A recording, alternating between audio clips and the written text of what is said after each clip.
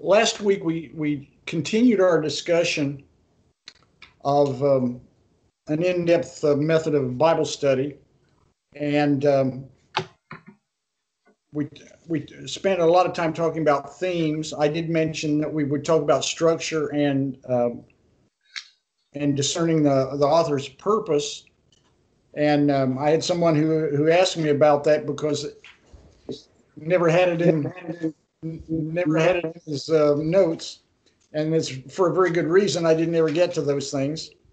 And something else occurred to me. I um, I'm a little bit like uh, a lady I met once, delightful lady in uh, Saskatchewan, uh, Canada, who um, made the most wonderful uh, red lentil soup that I have ever had. And um, so I asked for the recipe, and her daughter in law wrote it down for me. Problem is, and all the ingredients were there, but none of the none of the measurements. She didn't know what they were anymore. she had done it so long, so often that that she no longer knew what the measurements were, and I I feel a little bit like that as as I work on this um, method of Bible study. I've I, I have been at this so long that a lot of it has become natural, and I don't give a I don't think consciously about uh, about every step. But it's good for me to do that because if I'm teaching it, I really need to think consciously about about the steps.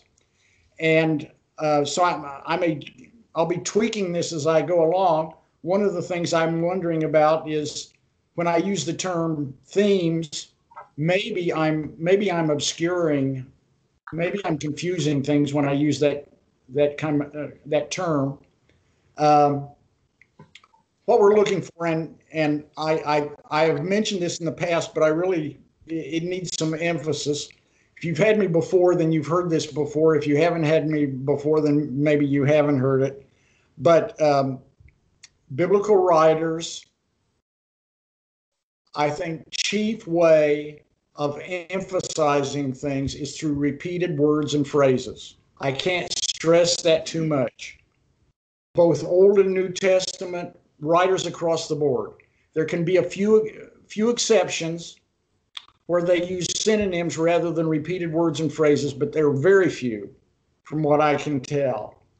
And uh, so repeated words and phrases is really huge. And what they do is when when they repeat a word or a phrase over and over in their document, they they might as well be shouting at you that this is important because they're they're they're emphasizing it for some reason. Now, their the their emphasis can be for different reasons. There can be more than one reason why they're emphasizing this word or phrase, and that's part of our process of interpreting is figuring out what uh, what their point is. So, for instance, they could they can repeat certain things because this is the big point. And rather than calling it a theme, maybe I should just call it the big point or the big idea. Every biblical book has a big idea, some big thought that the that the biblical writers is getting across. And very often the way he does that is by repeating some word or phrase or words and phrases. Maybe it's more than one and they tie together. Um, also, once you found the big idea, you may also find that there are themes, other ideas that support the big, uh, the big thought, the big idea, and uh, those also appear with repeated words and phrases. So this this works out like this. This can help you in understanding an entire book of the Bible. It can also help you understand a specific passage in the Bible. For instance, of thinking about the whole book, in Second Peter, which isn't really a widely known book, I, I find, and that's unfortunate. But Second Peter, one of the uh, a, a key term in Second Peter is the word knowledge that appears at different points, strategic points in uh, in that letter. Or um, I've I think I've mentioned it before. The Gospel of John is filled with with important repeated words and phrases like truth, light, love, and light contrasted with darkness. Um, terms that have to do with uh, terms that have to do with Jesus, and we're going to be seeing more of that later. But there, there, there's a whole variety of terms. Also, the word signs is important in, in uh, Gospel of John. So is um, uh, believe, and so on. Um, and those go throughout the book. But that also means that if you're studying one specific part of the book, and and one of those terms, or and there are others as well, but and and one of those repeated word, terms or phrases appears in that section, then then what you find throughout the gospel can help you understand how it's what's being said in that section. When I was growing up, I always heard that the best commentary on the Bible is the Bible, and I agree with that, but I would narrow it I would narrow the scope of that and say the best commentary on any book of the Bible is that book. Part of the reason I say that is, and this specifically has to do with the New Testament, but maybe as an illustration, it has to do with the New Testament. For instance, Galatians, uh, Galatians and um,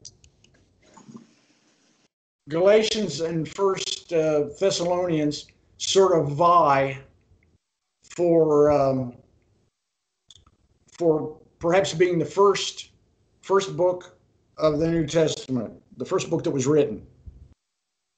Uh, let's say it's Galatians. If you were if you were in the Galatian churches and you received that letter, you wouldn't have had any other letters from Paul or any other letters from anybody else.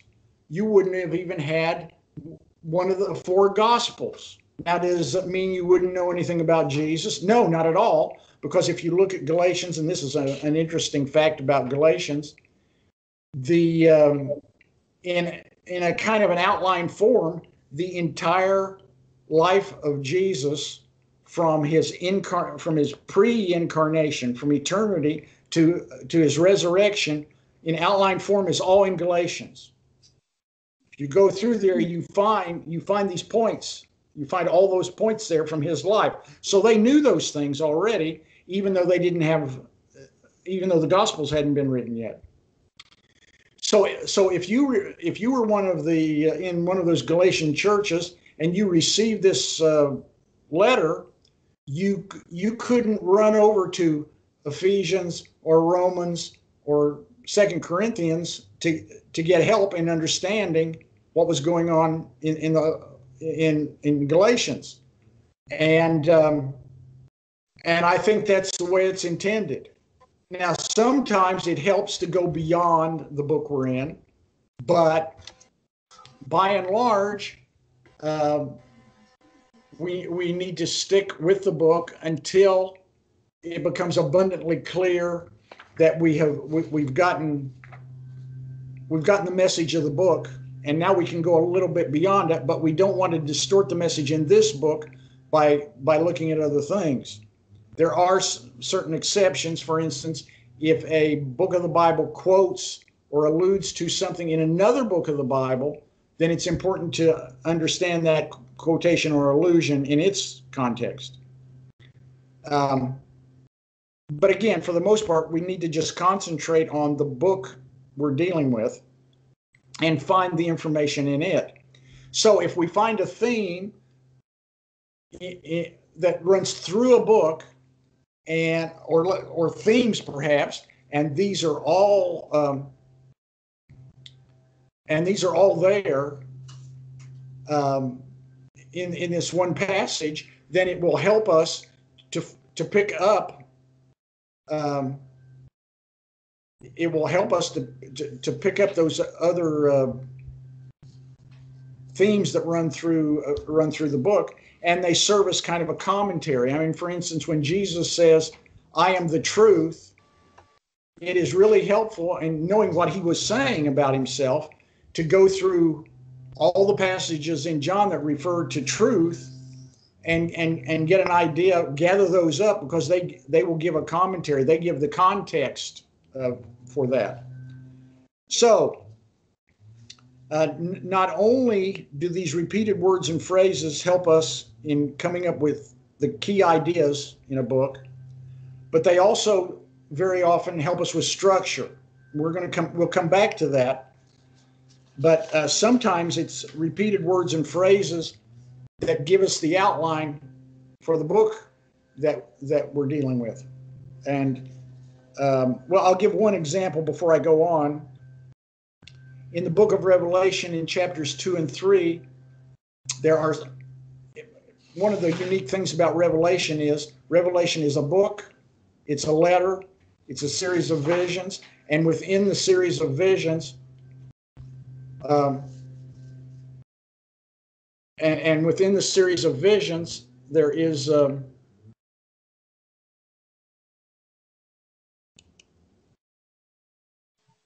Um, excuse me, something is taking over my screen, a picture of some, looks like a car. Yeah, I think, um, I think Chuck's, um, it, it's his, Chuck's, if you can hear me, please uh, turn off your camera.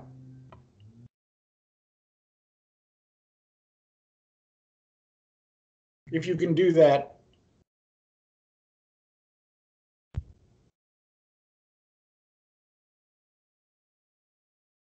Okay, what I'm seeing is a still now. It's not gone, but at least it's not moving. Uh, the picture, I mean. Huh? Can I see you? Um, I assume everybody can see me. I see me, I, but I'm up in the corner.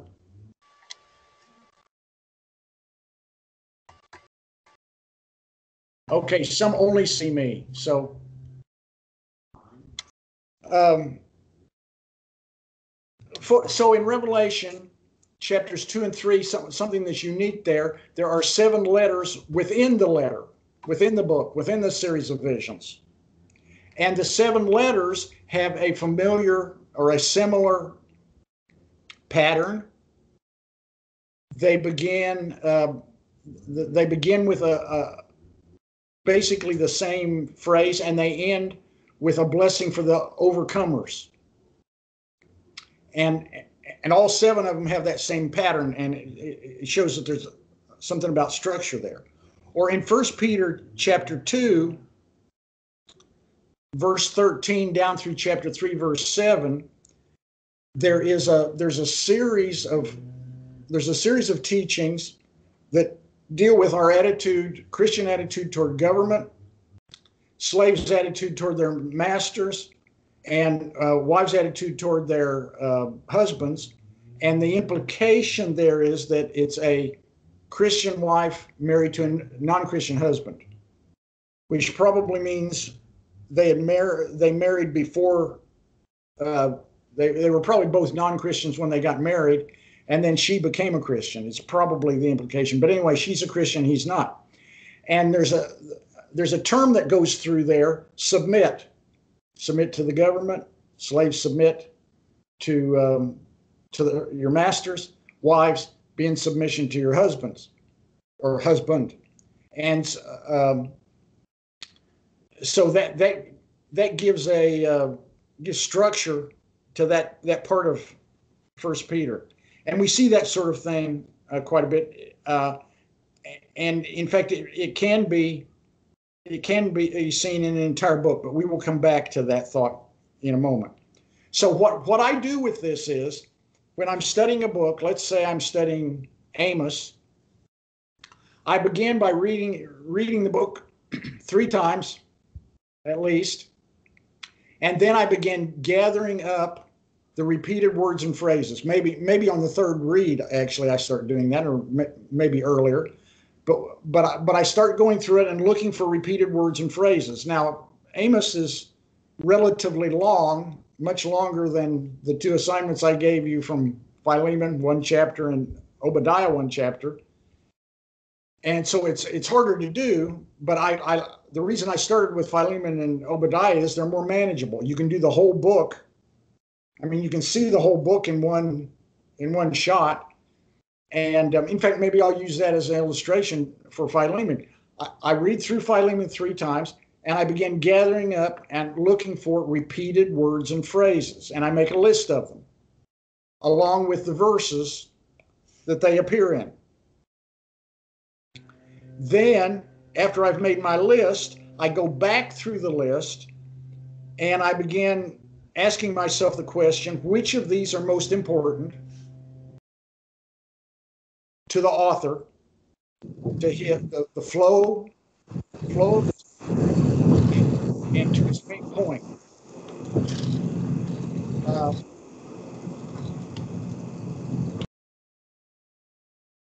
um, now that's not always easy. Sometimes that takes a while. Now sometimes it sometimes it's very easy. You look at it and say, "This is obviously what's most important to his to the flow of this book." Other times it's not quite so clear, and you may come up with a number of candidates for what what repeated word or phrase is most important and you just have to work with that. And you're trying to you remember we're trying to get at the author's the original author's intended meaning. There was a reason why he repeated this word or phrase. What's his big idea does that come out in one word or phrase or or is it a maybe a group of them but but what we're looking for his intended meaning, and we'll see some other things that will help us with that. So that's kind of my two-step process. First, I, I, I list the repeated words and phrases. Then I go through and I begin prioritizing what I think's most important, and also, and when I say most important, not most important to me, but most important to the author. And at the same time, um, I'm thinking through how they relate to each other. Are, are some of these supporting some of the others? Are they subordinate points to the others? And um, again, I'm trying to get inside the head of the, the original writer. Okay, so that's an ending note on themes. Are there any questions about that before we go into structure? I think it would be helpful to read, if, since you're reading it three times minimum, do you think? Kenva, if that's you, could you, I'm not hearing you real clearly. Oh, sorry. Can you hear me better? Yes. Okay, um, I was saying, since you're reading it a minimum of three times, is it okay to use a different version? So if you're reading, say, NIV, can you say read in uh, New American Standard or I don't know, ESV or something like that? Uh, yes, you can. Uh, uh, what I would suggest is find, find what works best for you. Because there is something to be said. I mean, if you read the same one three times, then the, the language is going to be familiar as you go through it. Reading two or three uh, can be positive because it, it will it kind of shakes you up shakes your brain up, and you see it from a different perspective. But it can cloud a little bit the repeated words and phrases, possibly, um, because they may be translating them in different ways. But um, I, w- I would say try it and see how it works for you either way. And I, I personally, what I do is I, I usually, not always, I usually read out of one translation. Very often I, I read all three times from it. If I don't, then if, if I read from different translations, I'll read one. I mean, for instance, if you're using the NIV, I'll read one that's more literal and one that's more paraphrased. Since NIV is central in that, I'll read one on each side of it. But but it's what works best for your understanding, I would say. Okay, let's talk about structure. And I'm going to give us a series of um, illustrations. I'd love it if, if, if I could say that this uh, list was absolutely definitive and there is no other kind of structure, but I can't say that. So these are these are illustrations of structure, so you'll have an idea of uh, of the kind of structure you can look for in in books. Uh, one form that we see, and, and we're coming back to what I said we would come back to, repeated words and phrases. Sometimes that gives the, the structure of the book. For instance, in Genesis, 10 times, um, if you're hearing a noise in the background, one of our neighbors has security on his van and it just goes off periodically. In the middle of the night, it will go off during a thunderstorm. And uh, apparently it's going off right now, but it'll stop after a while.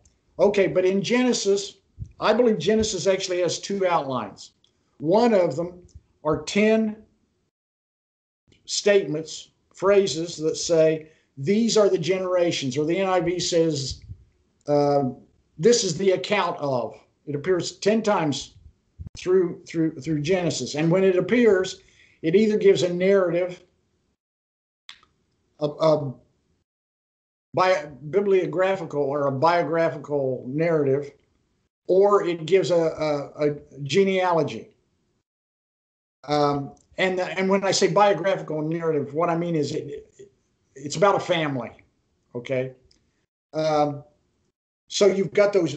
There's they stretch throughout uh, Genesis. But at the same time, if you read Genesis and read it as quickly as possible, maybe not in one sitting, but uh, as close to that as you can, if you get the flow of Genesis, uh, you know, there's also a thematic outline. Now, I'm very careful about thematic outlines because I don't want to impose one on the book.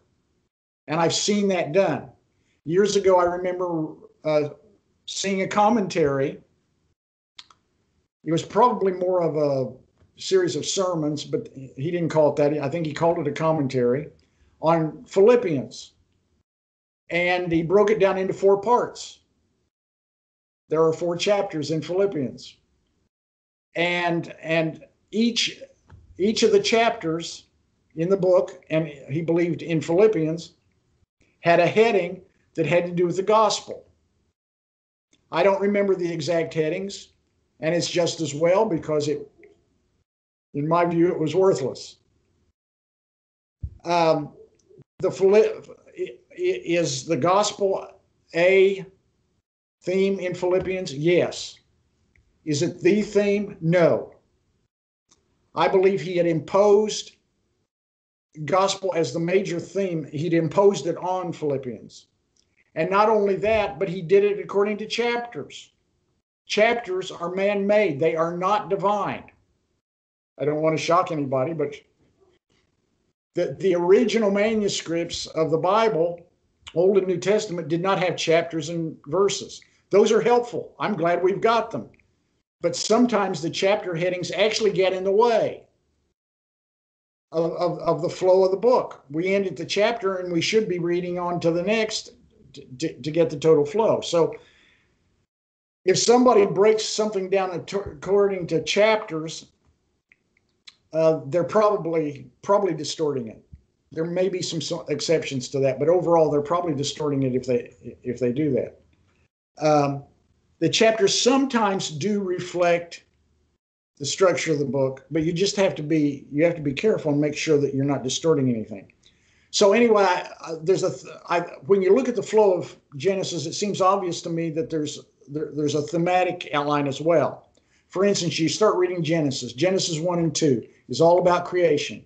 Chapter 1, the big sweep of creation. Six days. Seven comes at the beginning of chapter 2. Um, that's a place where the chapter got in the way a little bit. But anyway, basically, chapter one is the big sweep of creation. Basically, chapter two zeroes in on the the creation of uh, human beings, men and women. And um, the men and women in chapter two are in Eden, paradise. But as we all know, we're not in Eden anymore. And um, uh,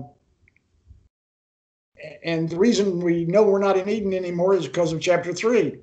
So chapter one is how the world began.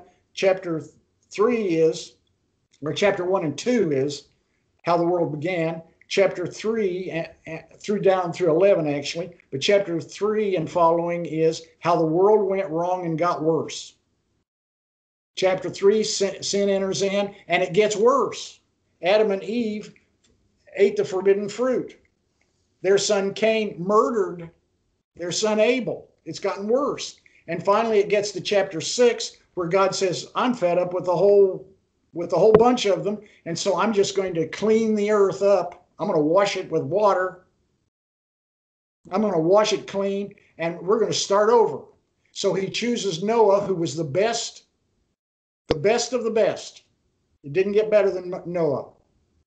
He chose Noah and his family to start over. And if you and if you look at uh, the the flood narrative and and creation, there are parallels. It's a kind of new creation.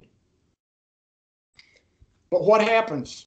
Noah isn't much more than off the boat until he plants a vineyard, gets drunk and naked, and one of his sons disrespects him. And it's all started over again. And it keeps on going to chapter 11. In chapter 11, we've got the Tower of Babel, uh, which is just high handed rebellion against God. God tells them what he wants them to do, and they say, No, don't think we'll do that. Um, and, and those chapters, 3 through 11, how things went wrong and um, got worse. Um, I think Karen is saying she can't hear me, and I don't know what to do about that because my my speaker is up. Let me look.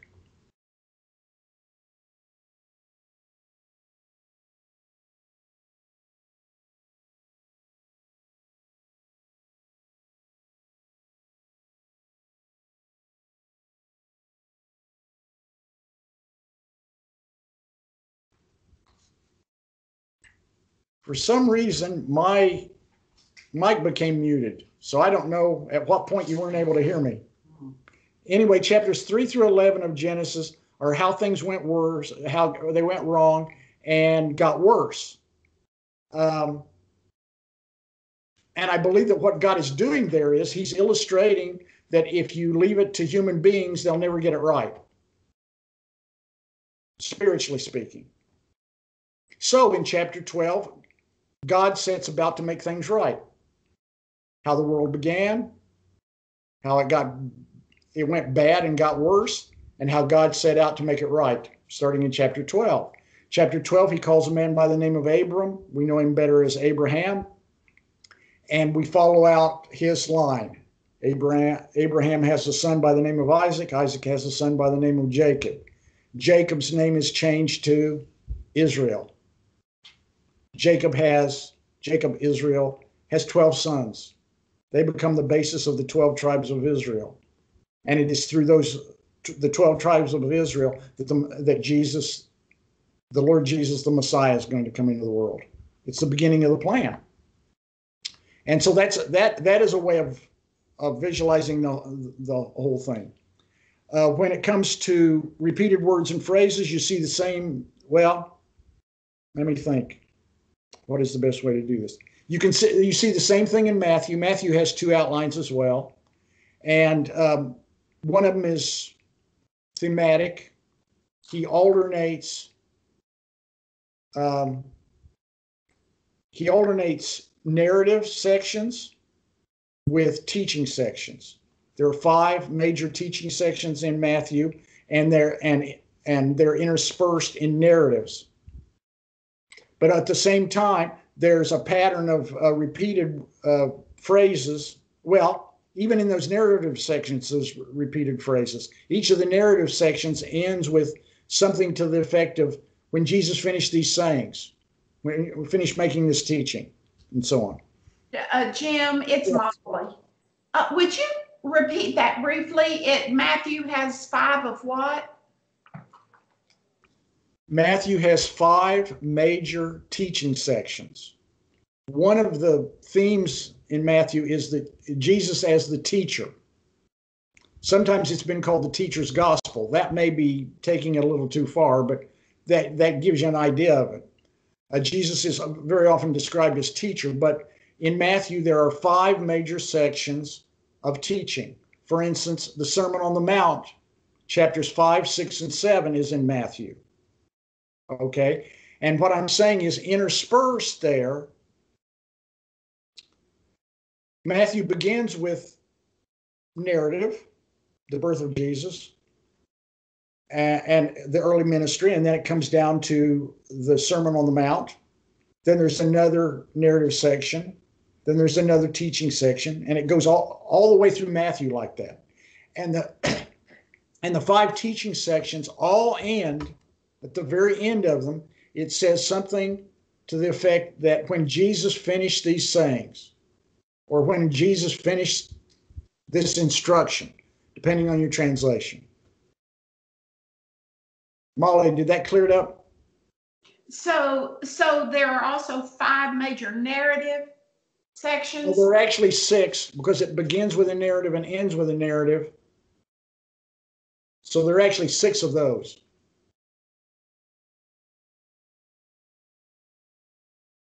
Yes, thank you very much. And that's one of the distinctive things about Matthew, by the way. Mark, Luke, John don't have that pattern.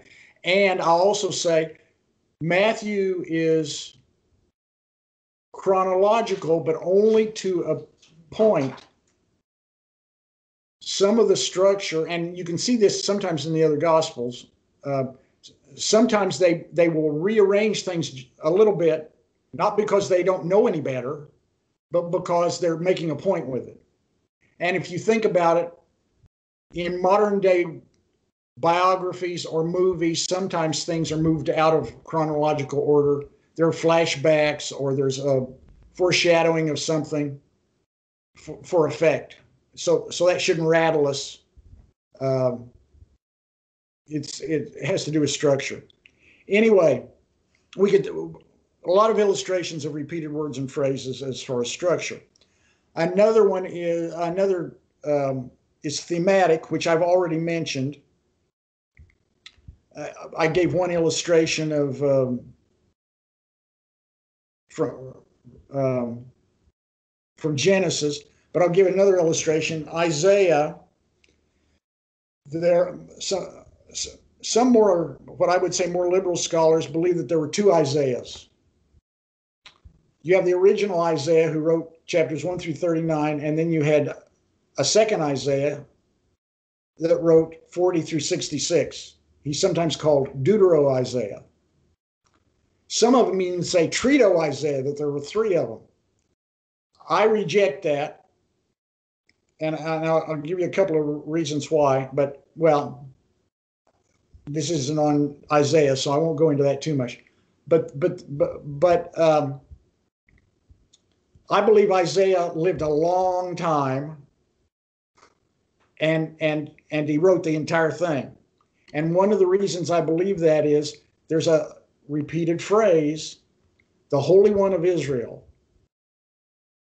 Um, I think I mentioned this before, but the first chapters one through thirty-nine, that phrase appears twelve times. In chapters forty through sixty-six, it appears fourteen times. You may say big deal. See, it appears in both halves, and supposedly these are two different authors. It makes much more sense if there's one author, but there's something that makes it even more compelling, I think. In the entire rest of the Old Testament, that same phrase that appears 26 times in, in Isaiah appears five times. So it's fairly unique in Isaiah, and it's in all parts of Isaiah but picking up on that idea, I mean, there's definitely a difference between chapters 1 through 39 and chapters 40 through 66. But I believe that the difference gives, in effect, gives us the outline. Chapter, the emphasis, it's it's not total. There are exceptions, but the emphasis in the first 39 chapters is on judgment. God is judging Judah for their wrongs. Then, then after the axe falls on them, and um, the judgment comes, then chapter 40 begins with the words, Comfort, comfort my people. And chapters 40 through 66, the emphasis is on hope. Hope that comes after the judgment. But that's a thematic. But see, it's based in the, the content. And you have to be careful about that because I, I don't want to impose, I don't want to impose my own view, my own thinking on the on the biblical author. Um, a third t- type of structure, and this is very common, especially in the New Testament. The New Testament, most of the New Testament books are letters, and um, there there was definitely a letter form in the ancient world. We uh, we still, to an extent, have a letter form. Bad things have been done to it because of uh, texting and emails, but we have a basic letter form. We say, we used to say, dear so and so. Now we say hi or hey. Um, but but we say who say who it's addressed to. Then there's the body of the of the letter, and then at the end we say sincerely or love ya or something, and then we would put our name down.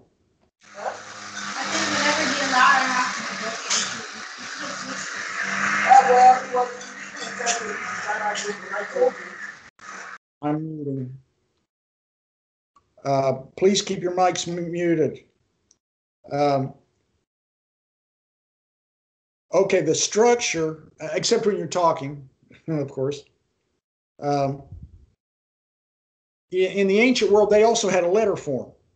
And this is, I'm giving the basics of it because there are some variations, just as there would be somewhat today. But their their letter form would be some kind of greeting, and in the greeting they would say who was writing it and who they were writing to. Okay. From Paul the apostle to to the Galatians or whoever. Okay. Uh, in the New Testament, it would be that way. But anyway, they would say who it was from and who it was to. Uh, and, and very often there would be some sort of greeting attached to that. The Greeks tended to use a, a word that was like grace. It's not the word grace, but it sounds like grace. Kind of a gracious beginning. Jews would use, uh, and still do, the word shalom or peace. Very often, Paul will combine the two and give them Christian meaning. He uses the word grace and he uses the word uh, peace. Those would be familiar sounding to both Gentiles and Jews, but with coming from Paul, a distinctively Christian uh, meaning. Then, following the greeting, you would have a thanksgiving and prayer. Very often, uh, they say, I'm, I'm thankful for so and so, or I'm praying for you, or may this, may the, you know, for a pagan might say, may the gods richly bless you, or something like that. Anyway, there's some kind of a, a, a prayer. Um, then there's the body of the letter, the main part of it and a, a, conclusion, and the conclusion might increase might include greetings fr- from the the person who's writing and from people who are with him, and kind of a closing doxology or that sort of thing. May the God of peace be with you, or or uh, that sort of thing. Now, within the body of the letter, something that's uh, important in the New Testament in general, but especially in the writings of Paul, is um, they've discovered this, and they discovered it outside the New Testament. It's called uh, it's called a petition verb, and it functioned like this. Let's say somebody there was bad things happened in one of the provinces of Rome.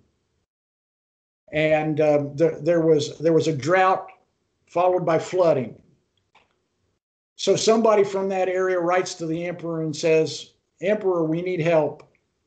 Well, he wouldn't start out with that. He'd say, "Bad things have happened to us. We had this terrible drought, and every, all the crops burned up, and then we got rain. But when we got rain, it flooded. Therefore, I urge you and I urge you is one word, parakalo. Um, I urge you to, and then he would tell, then, then he would make his request. Well, Paul uses that, but so does Peter um, in the New Testament. They use that uh, in in in their writings. For instance, in Romans 12:1, Paul says, as a prisoner of the Lord that he urges them by the mercies of God to no, he says, therefore, it's not prisoner of the Lord there, it's in Ephesians. He says, therefore, um, I urge you uh, by the mercies of God to present your bodies as living a living sacrifice. Therefore, points back to the first 11 chapters of Romans. You always have to ask, what's therefore, therefore? Uh, it points back to the first 11 chapters.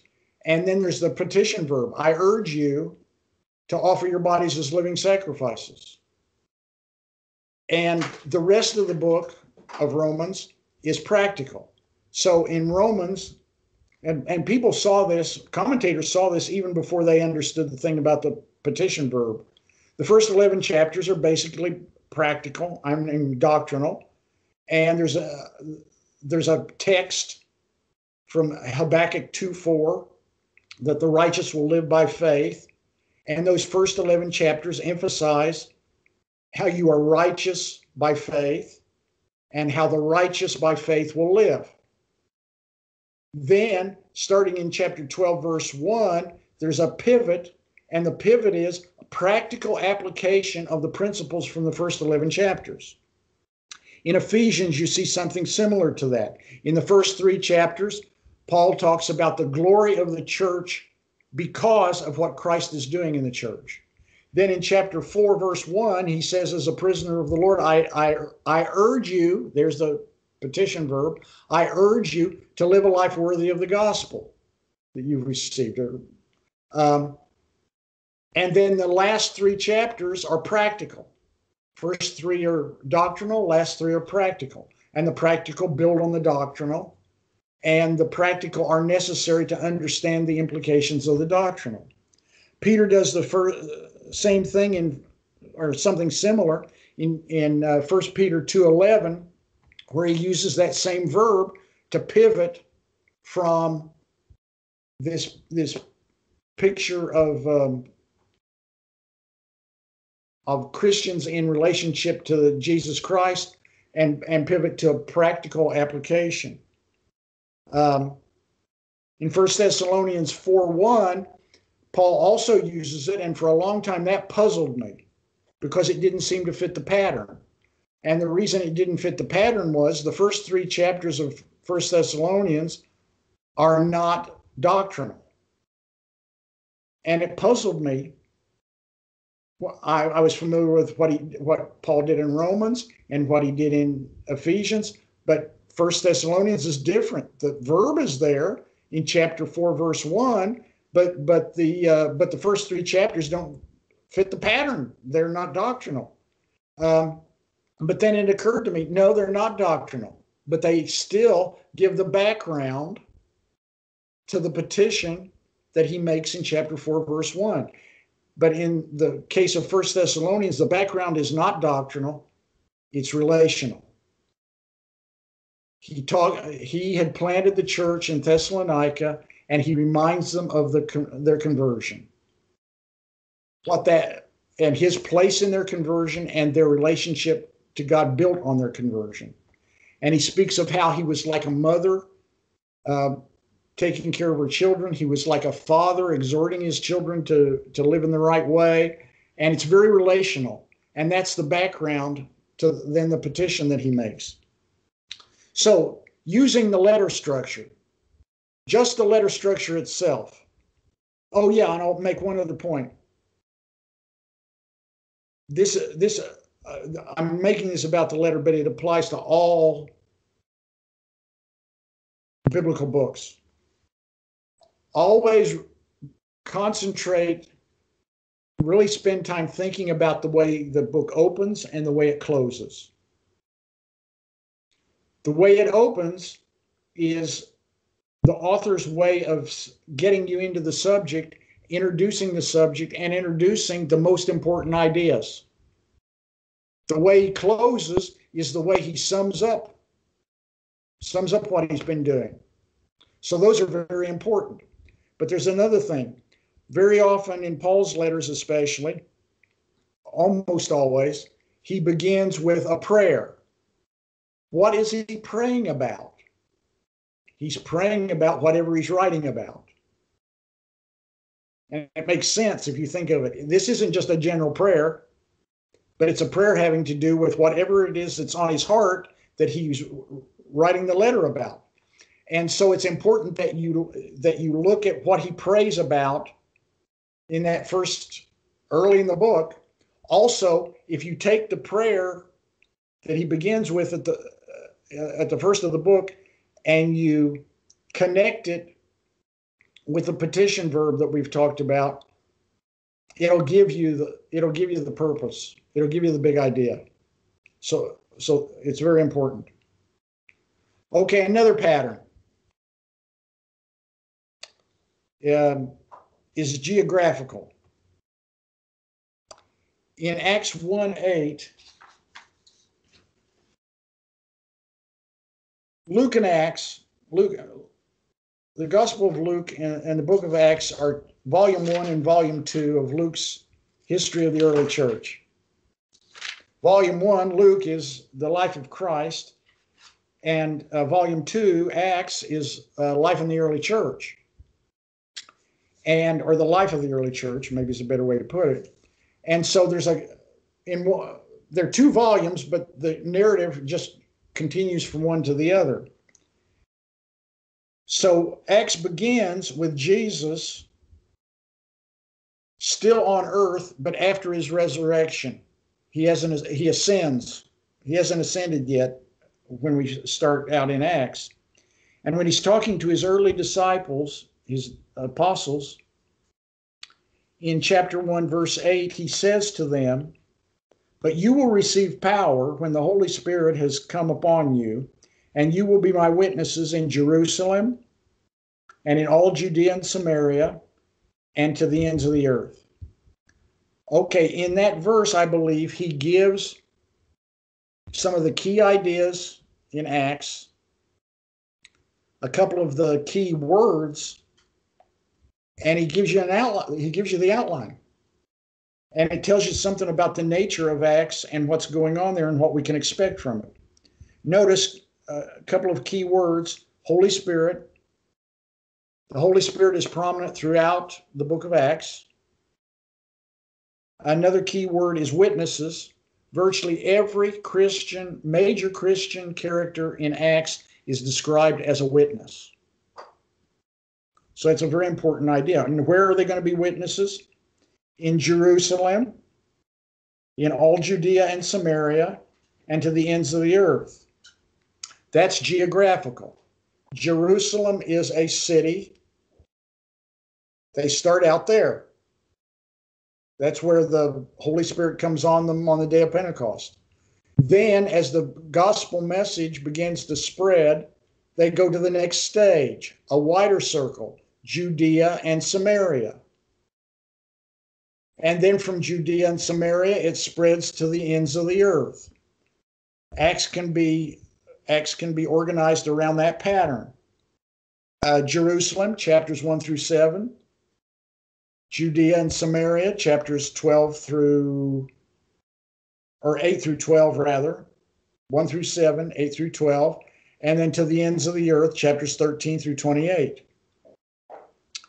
Also, uh, lending support to that is in Acts, there are seven growth reports, for lack of a better term, where uh, periodically Luke will say that the church grew and increased and so on. Seven is a symbolic number going back to creation. There were seven days of creation, there are seven days in the week. And so seven becomes a number for completeness, perfection. It's it's a perfect week that you've got seven or a complete week. And um, so the growth reports, I think, are being used symbolic, symbolically. And when you put the growth reports with the, with the uh, outline, the geographical outline, what do you get? That the book of Acts is about the dynamic growth of the early church. I've heard other things said about the nature of, of Acts, what Acts is about. One of them, a prominent one that I've heard, is that it's about conversion. Are there conversions in Acts? Absolutely. Can we learn about conversion to Christ in Acts? Yes, we can, but that's not the main theme. The, you put you you take the outline and you take the growth reports, and I think you've got the main theme that that in spite of persecution, in spite of troubles within, in spite of their own prejudices, Jews against Gentiles, the church grew and prospered in a dynamic way. And, and, and see, the outline captures that and helps us also understand, uh, I think, helps us understand Luke's purpose. Okay, another, uh, well, are there, uh, I'll, I'll hold up a second again and ask if there are any questions. Questions or comments? Isn't the dynamic growth of the church the theme though of it? Yeah, Talk, we were talking about structure, so you're saying finding structure. I'm, sa- I- I'm saying these, Structure. uh, the, the question is, is, uh, isn't the dynamic growth of the church the th- theme? And yes, it's, that's the big idea. Is the church did and is meant to grow uh, and to win people. Um, and I, what I meant to say at some point, and I don't know if I ever got it out, these are not, um, these work together. Okay. So in this case, the the theme, the outline, uh, the purpose are all intertwined with each other. So the structure's trying to figure out what it is. Is it an out, can you outline it? Is it a letter? Is it, and then that gives you, Yeah, the structure is how you outline it, and very often the outline will tell you what the purpose is. okay. All right. Um, okay, another another pattern uh, of structure, cyclical. Cyclical. The book of Judges is built on a series of cycles. In chapter 2, verse 8 through 23, we, we get a we get the basic pattern that then is repeated throughout the book of Judges until we get not quite to the end, and I'll explain that, but that's a little different. But there's a fourfold pattern. Judges, of course, follows Joshua, the book of Joshua. Joshua was the successor to Moses. He led the people of Israel into the promised land, and they conquered the promised land, and, and then they divided it up among the tribes. Judges begins by speaking of Joshua and saying that when Joshua and that generation of faithful people died, that um, that there was a fourfold pattern that that develops. After they died, Israel fell away. Because Israel fell away from God, He sent oppressors, maybe to punish them, but even more to get their attention. Okay, you've done wrong. Listen up bad things happen when you don't listen to me. Okay, so they fall away, oppressors come. Third, the Israelites cry out to God. We're so sorry. We repent, even if they didn't really repent. But anyway, we'll, we'll, we'll assume they did. Uh, they cry out to God out of repentance. God sends a deliverer. We know them commonly as judges Uh, but it's important to think of them as deliverers because that was their chief function. The deliverer comes and delivers them from their oppressors. As long as the deliverer lives, they're faithful. Then the deliverer dies and they become unfaithful. Oppressors come, they cry out, God sends a deliverer. And this happens repeatedly in Judges. One of the things that I have learned that um, adds to this, and uh, it's a powerful message the cycles don't remain the same forever. the midpoint in the judges, the midpoint, mid judge, is a man by the name of Gideon. Up to the up up to that point, there have been eight judges, and they have all been positive. They're all positive. Gideon is mixed. Gideon, on the one hand, has faith, and on the other hand, has a lot of doubt. On the one hand, he refuses to be king after he's delivered them and they want to make him king. And yet, he does like the idea of power and money. It's subtle, but he's mixed. He's not, he, he, he, you don't get the totally good image of him that you got for, for the ones before him. The ones after him are all negative. The midpoint is mixed, but all the ones that follow him are negative and they end with Samson. Don't know what you think of Samson, but read the narrative. Samson comes and delivers them, but Samson is self willed, selfish, ungodly in a lot of ways. And in the end, he delivers them by destroying the leadership of the Philistines. But if you read it closely, he does not he does not do that to deliver Israel, and he doesn't do that to bring glory to God. He does it out of revenge. And sometimes I've said, you know, you look at Samson and you say, Lord, is that the best you can do for a deliverer? And I think God would say, Yep. That's that's the kind of deliverer you deserve. So it gets worse. So the cycles don't remain the same forever. After a while, they deteriorate. Then at the very end uh, of uh, Judges, you've got some incidents that don't fit this pattern at all.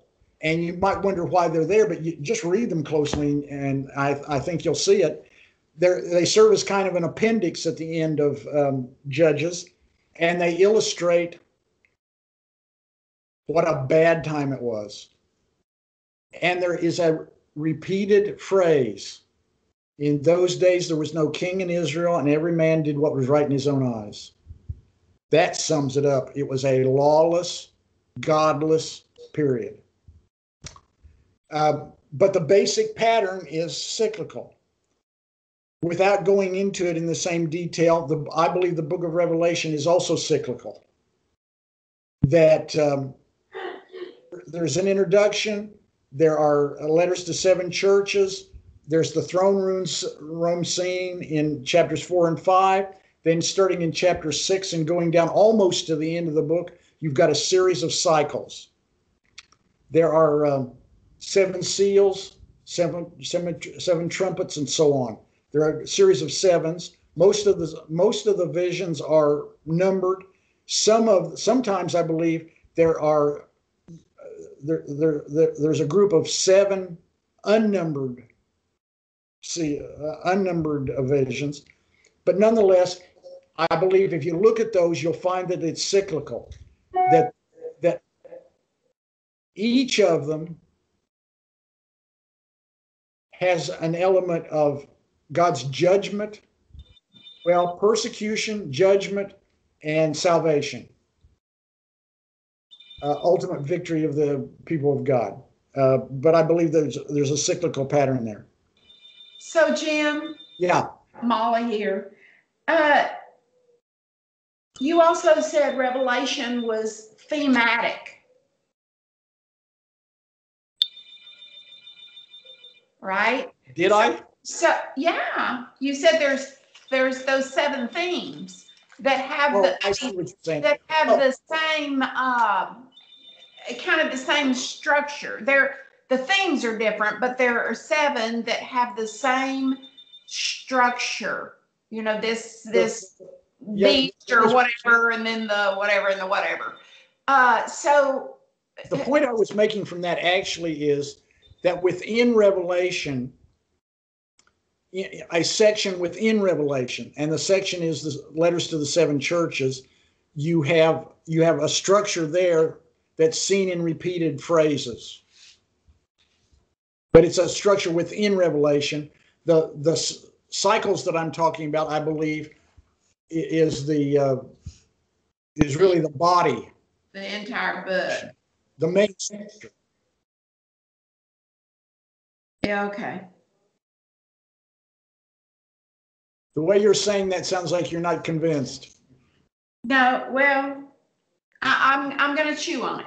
Okay. It is, that is not, my view is not really the common view of Revelation. The common view probably would be that um, Revelation is linear.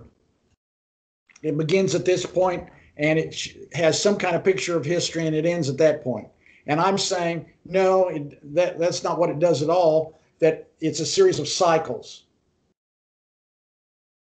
There is an end point, heaven at the end, the final, you've got the final judgment toward the end, but, but most of Revelation, uh, rather than being linear, kind of a linear history, is actually a series of cycles in which the same themes appear and they intensify, in fact.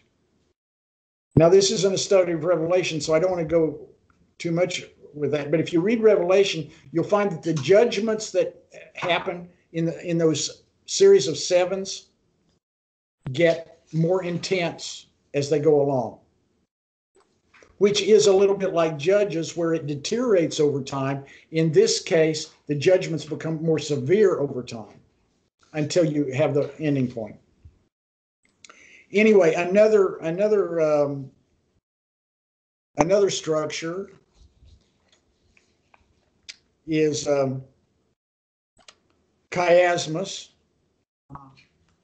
Um, in its simplest form, a chiasmus is it's a literary way of structuring, where the where and it's used both in the Old and New Testament, where the author will say something, we'll call it A. Then he says something else, we'll call it B.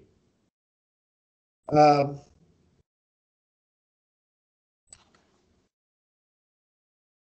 CH.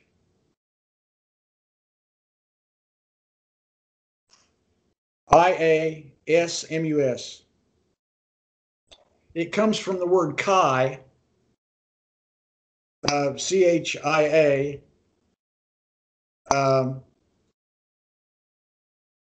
or A-I, uh, which is a Greek letter. The Greek letter looks like an X. So think of it this way. You, at, at the top of the X, you've got A, and then you've got B, and then acro- on the crossbar, you've got B prime, you've got B again, and then you've got A again. The idea is the author had said something, he and then he made a second point, A and B. Then he repeats his second point, maybe in a little different form, but undoubtedly it's a, re, a repeating of the second one. And then he repeats the first one again, it may be in a li- slightly different form, but it's pretty definite.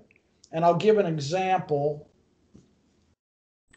of that, a very simple example, because it can be much more complex than what I just described. Psalm 76, verse 1. In Judah, God is known. His name is great in Israel. In this case, in, in Judah and in Israel are A and A prime. They're parallel to each other. Okay. And also parallel to each other, God is known in Judah, God is known, and his name is great. Those are those are equivalent to each other also. So there's there's the pattern.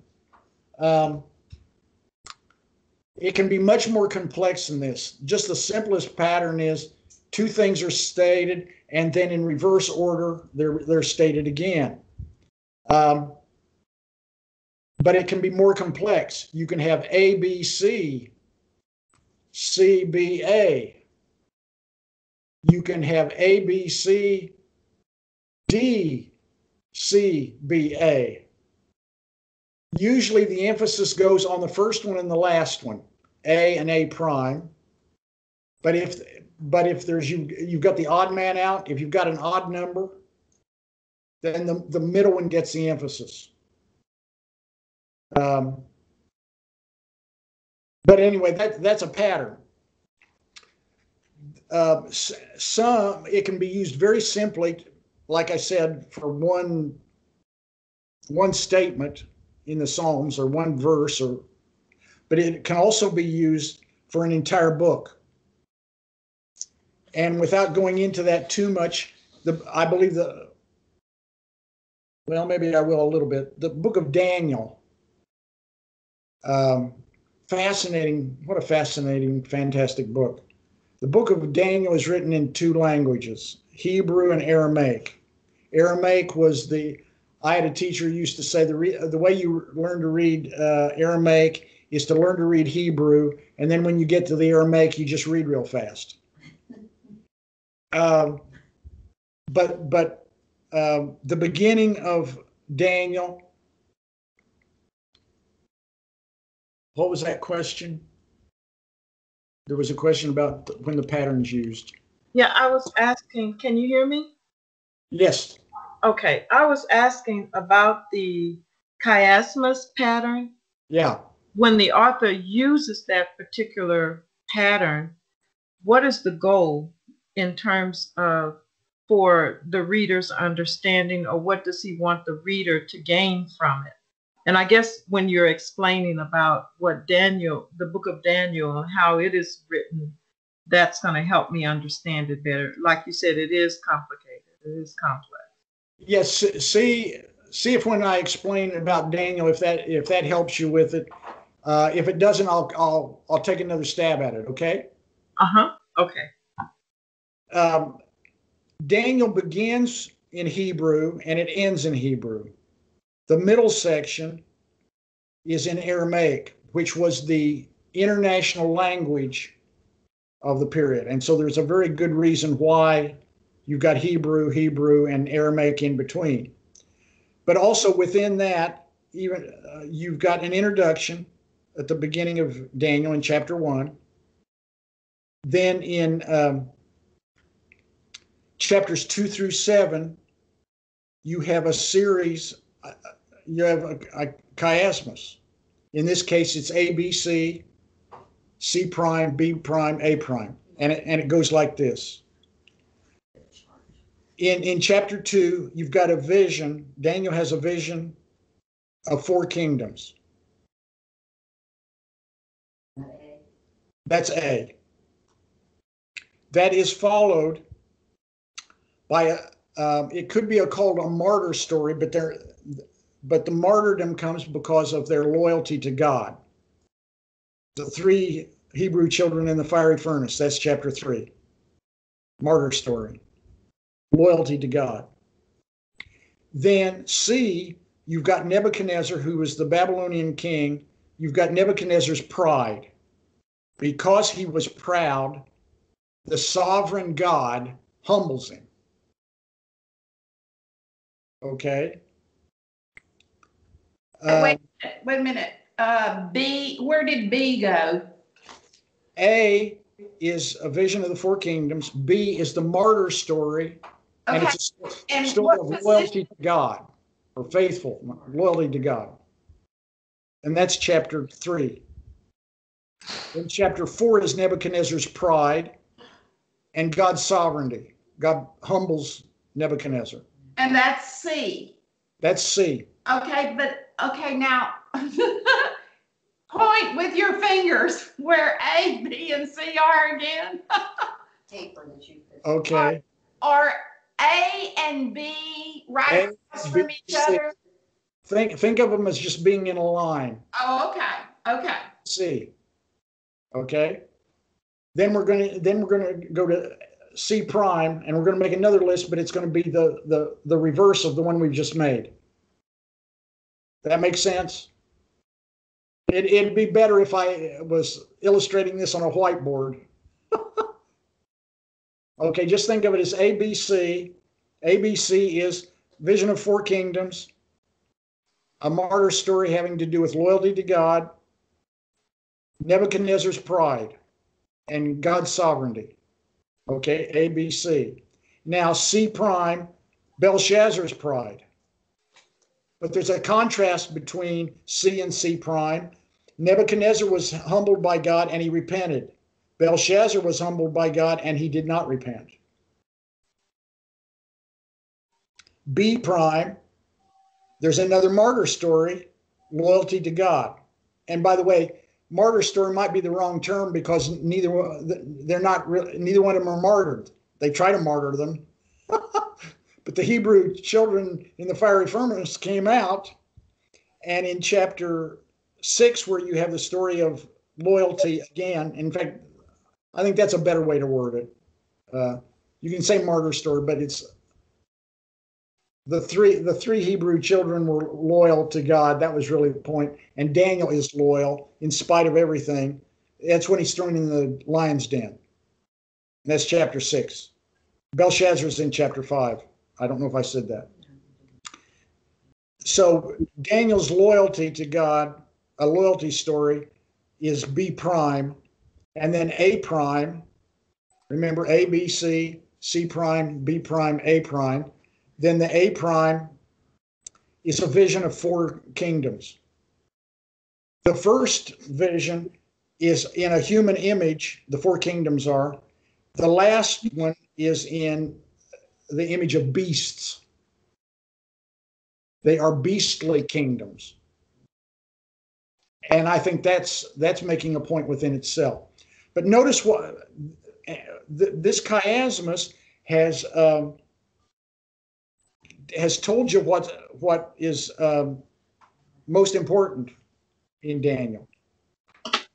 The kingdoms, the vision of the kingdoms, have to do with God is going to set up a kingdom, and the and the earthly kingdoms. In both cases, the four kingdoms that are mentioned are um, are are going away.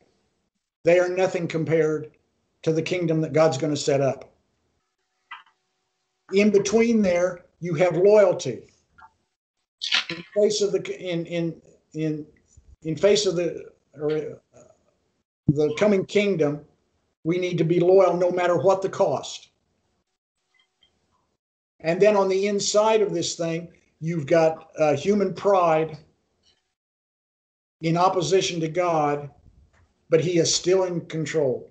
And overall, when I look at Daniel, and, and we're not quite done because there's still chapters 8 through 12, and in chapters 8 through 12, you also have a sort of partial chiasmus. It's not a total one, but you've got a vision of two kingdoms in chapters 8, chapter 8. You've got a vision of 77s in chapter 9, and you've got another vision of two kingdoms in chapters 10 through 12. Notice how kingdoms keeps coming up, and these kingdoms are all in contrast to uh, chapter 2.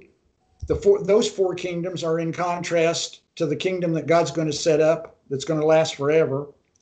And in chapter 7, the four beastly kingdoms are in contrast to the kingdom that's going to be set up by the one who's like a son of man and comes with the clouds of heaven and sets up an everlasting and universal kingdom, and that's the Lord Jesus. Um, okay. Have I totally confused you? Yes. Sure, but that's okay. Jim, Jim, could you diagram that and send it to us? Yes, I can do that. Thank you. My wife is amening you. she's been saying all along that I needed to draw it out somehow, but I, I don't, uh, I'll have to do something with that.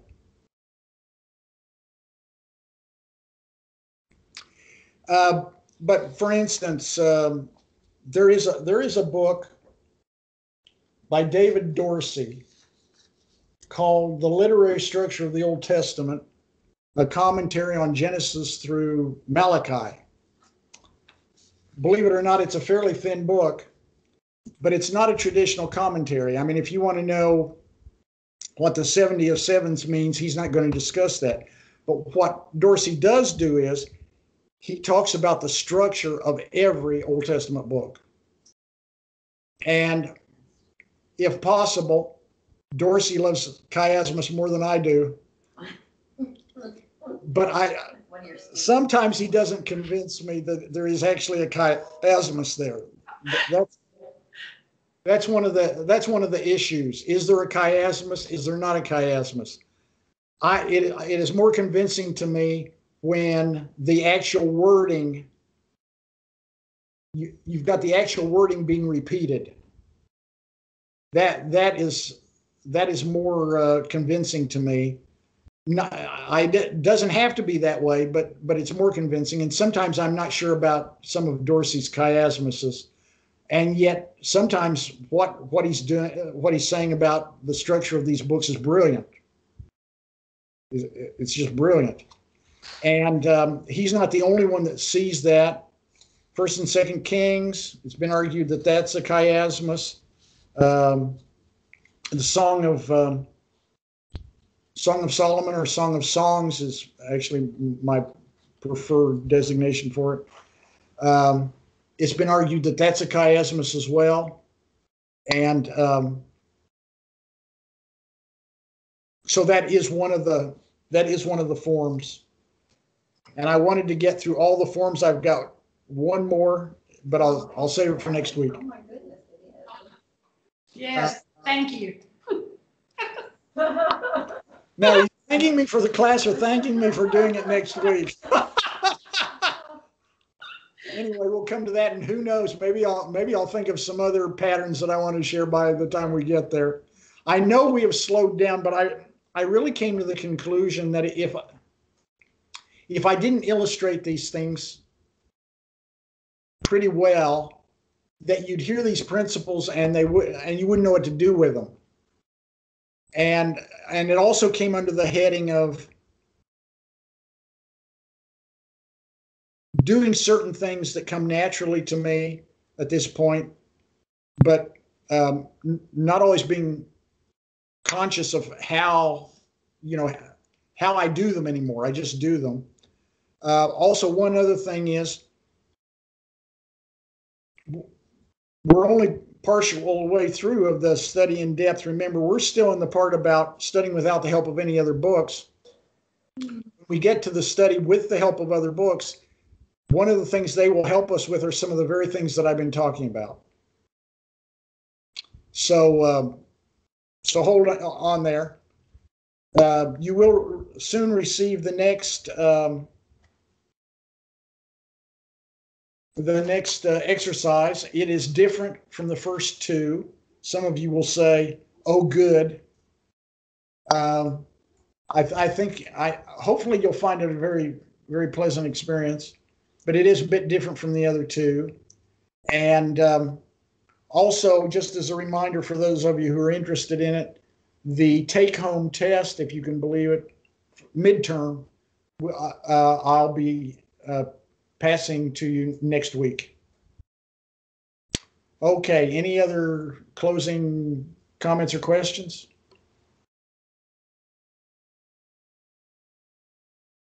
Brother Jim, really quick, um, can you just refresh my memory? The three cycles of revelation. You said the the seals. You said, did you say trumpets was one?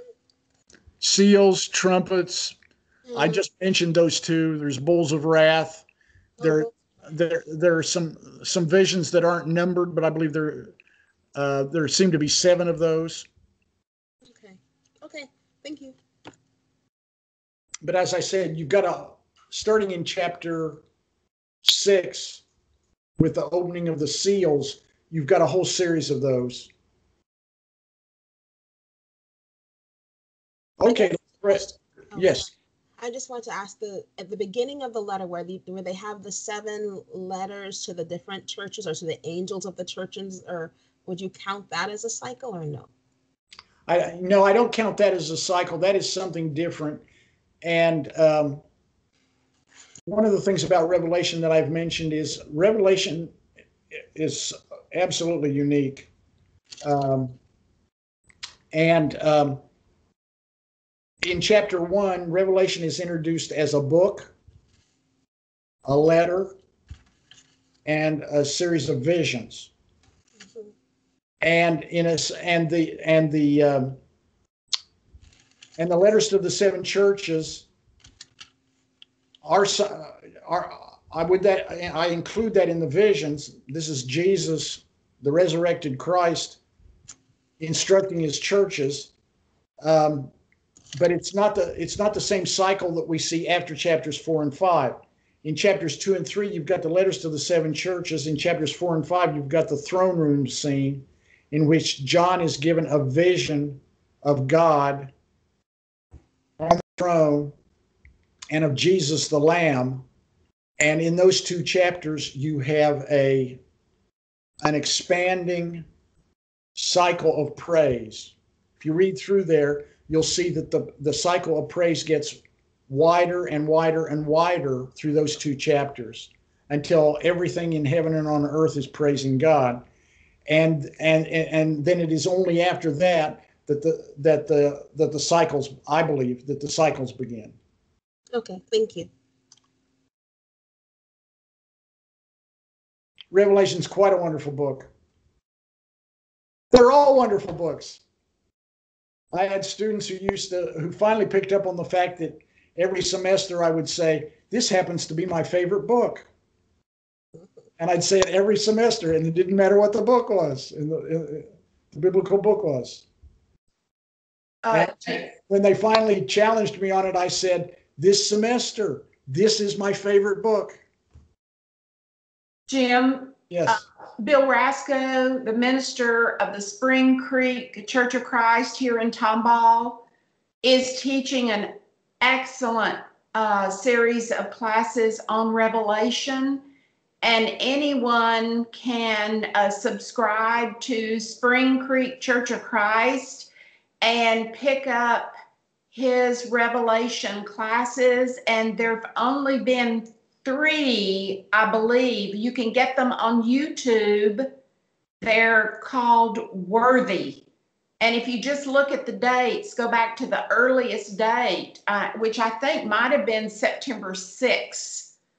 But um, I've I just uh, a few days ago listened to the first two and plan to be a regular, you know, he posts them on YouTube after he teaches the in-person class, and they're they're excellent. Well, thank you. Thank you for that information. I hadn't heard about He it. says he feels the same. It is not linear. Well, that commends itself. There you go. Anyway, let's pray together. Our Father in heaven, we thank you.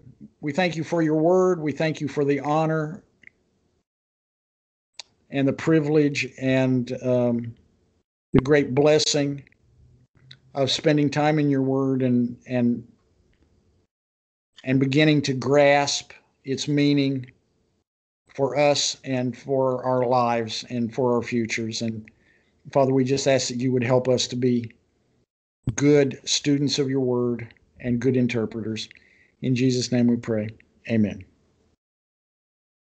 Thank you very much.